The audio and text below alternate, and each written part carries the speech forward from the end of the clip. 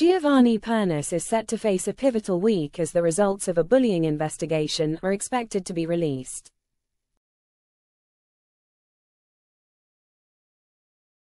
The BBC hopes that the findings will resolve the controversy and allow him to focus on announcing the lineup for the show's 20th anniversary, starting Monday, August 5.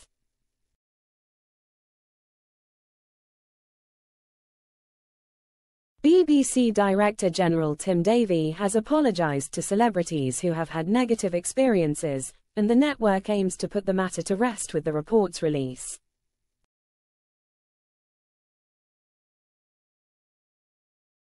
Pernice's team is optimistic that he will be exonerated. The investigation was prompted by a formal complaint from Amanda Abbington, but Pernice has received support from production staff and former dance partners, including Debbie McGee, who have testified that they did not witness any bullying.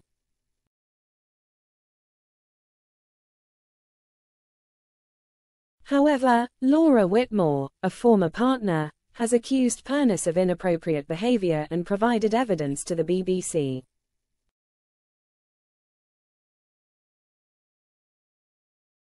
Despite this, the Mirror reported that Whitmore's evidence was not included in the dossier of claims presented to Pernice, as she had not made an official complaint.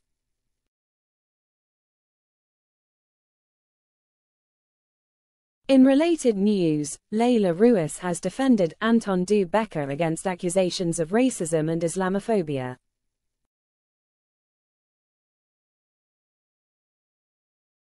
Rouass acknowledged past incidents involving Du Beke, but emphasized that he was never abusive towards her.